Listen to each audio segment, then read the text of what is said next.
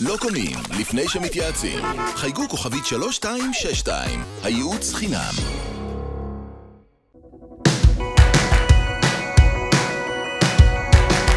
קיה סלטוס נחת ממש עכשיו בישראל והוא מצטרף למשפחה הרחבה של רכבי הפנאי של קיה. לא פחות משישה רכבי פנאי יש לקיה בישראל, כשארבעה מהם בסגמנט הפנאי הקומפקטי. והקהל מצביע ברגליים. כמעט חצי מהמכוניות החדשות שנמכרות בשנה בישראל הם רכבי פנאי. ו-20% מהם מבית קיה. רוצים להישאר מעודכנים? יירשמו לערוץ אוטו ביוטיוב, ואל תשכחו ללחוץ על הפעמון.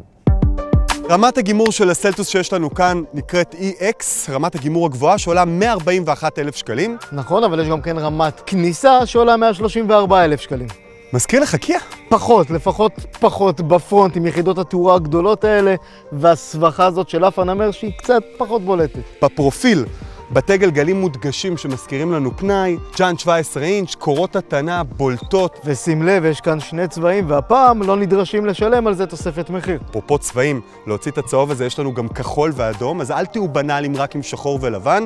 סך הכל הסלטוס יש מראה קלאסי, פחות בולט. גם לי יש מראה קלאסי פחות בולט. לך יש מראה לא קלאסי ולא בולט.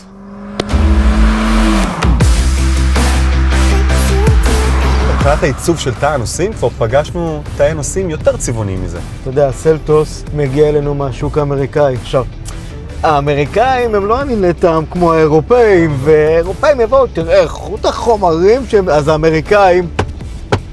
כן, חומרים נוקשים גם בתחתית פה. מצד שני, איפה שאתה מניח את היד שלך, או איפה שאתה מסתכל, אז יש חומר נעים ורך. אתה יודע מה האמריקאים הכי אוהבים? את טראמפ. פחות. אבזור. כמו הנעת הרכב מחוץ לרכב באמצעות השלט, או קירור הרכב, וכניסה והנעה ללא מפתח, חימום למושבים קדמיים, בלם יד חשמלי, ואני חייב רגע להרחיב איתך על מערכת המולטימדיה הזו. זה צג בגודל 10 ורבע אינץ', מסך מגע דובר עברית עם תגובתיות פשוט מעולה. יש פה Waze, חיבור ל Android Auto, Apple CarPlay, חיישני חניה מאחור, כולל מצלמת רוורס, לרכב במחיר הזה, מהמערכות מולטימדיה הטובות שפגשתי. אתה יודע מה עוד יש פה? תסתכל על התאורה בפנים. בליטוף. על היגואר. פרימיום. גם ליושבים מאחור, שלושה מבוגרים, יהיה נוח עם מספיק מקום לראש, וגם בתא המטען הוא גדול ומאובזר. פנק אותו בציון. בגלל העיצוב ואיכות החומרים, שמונה. אז אני חייב לומר שהמערכת מולטימדיה הזו היא עשר. אני איתך לגמרי. מבחן הנהיגה, זרוק את הנתונים. טוב, כיאה לשוק האמריקאי, אין כאן מנוע קטן ומוקדש, אלא מנוע עתיר נפח. V8, 6 ליטר. פחות, 2 ליטר, אטמוספרי, 149 כוחות סוס, והוא משודך לתיבה אוטומטית רציפה. 9.6 שניות מ-0 ל-100. אני חייב לומר, תיבת הילוכים אמנם אוטומטית רציפה, אבל היא מרגישה פלנטרית, אוטומטית רגילה, שזה יתרון. אז כאן כי יעשו עבודה נהדרת, והתיבה מדמה תיבה פלנטרית. נהדר. עוד דבר לציין לטובה, עבודת המתלים כאן היא מצוינת, לא מרגישים את המהמורות. את רוב השיבושים הקיה הזה סופג נהדר. מה מבחינת מערכות הבטיחות?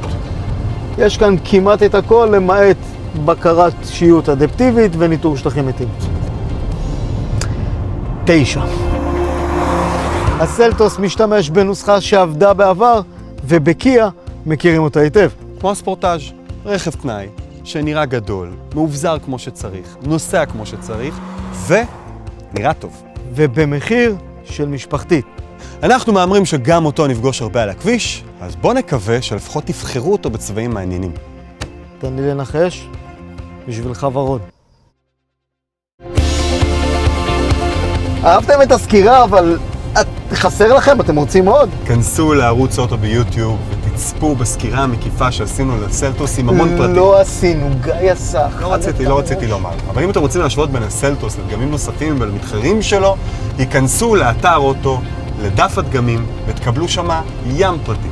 אגב, אם אתם רוצים לדעת מתי כל פעם שאנחנו מעלים סרטון, שזה יקפוץ לכם בטלפון, תלחצו על הפעמון, ובכל פעם שנעלה סרטון חדש, נדאג לעדכן אתכם. ראשונים. ראשונים, אתכם ואת שאר עשרות האלפים שנראים. אבל ראשונים. יש לך טורט?